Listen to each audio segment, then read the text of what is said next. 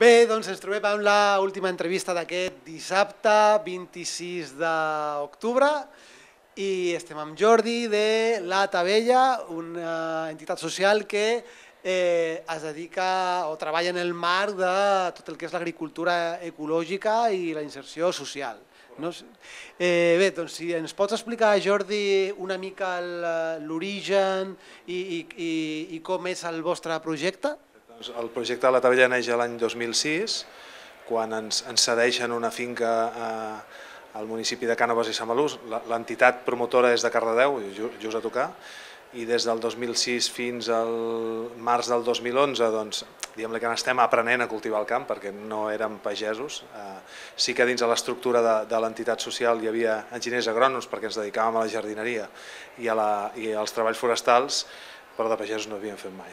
Llavors, és a, és a partir del març del 2011 que diguem, ja ens sentim una mica segurs en el tema, i, bueno, ja havíem pres la decisió una mica de, de tirar endavant i és quan ens, diguem, ens presentem al mercat amb una marca que, li, que a través de la qual diguem, ens presentem al client i volem començar a subministrar eh, producció pròpia de les nostres finques i producció d'altres pagesos ecològics que col·laboren amb, amb la Tabella. I aquest és una mica l'instrument per nosaltres per crear llocs de treball per persones amb discapacitat perquè el nostre objectiu final és aquest. No? O sigui, el vendre fruita i verdura ecològica és l'instrument per aconseguir aquest objectiu. Eh, com veieu dintre del marc d'actuació eh, que teniu com a, com a entitat social que, que sou, com, com veieu el panorama actual en, en aquest nivell?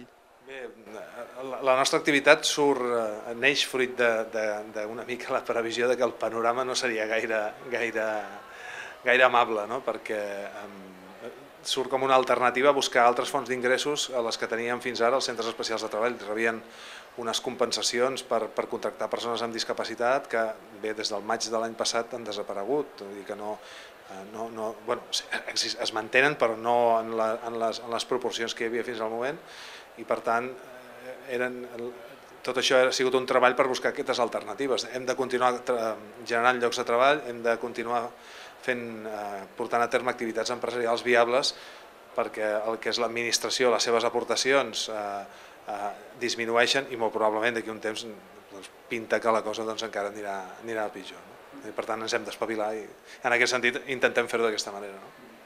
I, i bueno, també per acabar ja, no, ja que estem parlant també una mica d'això, de que la cosa anirà a pitjor i que estem aquí tots eh, reunits en aquesta Fira d'Economia Solidària per tractar de, de fer una alternativa diferent, doncs eh, si ens vol fer una petita valoració d'aquesta fira. Sí, bueno, és la, la segona edició, és la segona vegada també que hi som presents, eh, l'experiència que vam tenir l'any passat va ser molt positiva i per això doncs, hem volgut repetir aquest any i bé, s'estan complint les expectatives, vull dir que no sé, ha molt bon ambient, molt bona acceptació, el públic és molt receptiu al que tu els expliques i bé, espero que això s'acabi eh, transformant en negoci, que és el que al final ens acaba interessant a tots amb l'objectiu aquest de crear llocs de treball. No?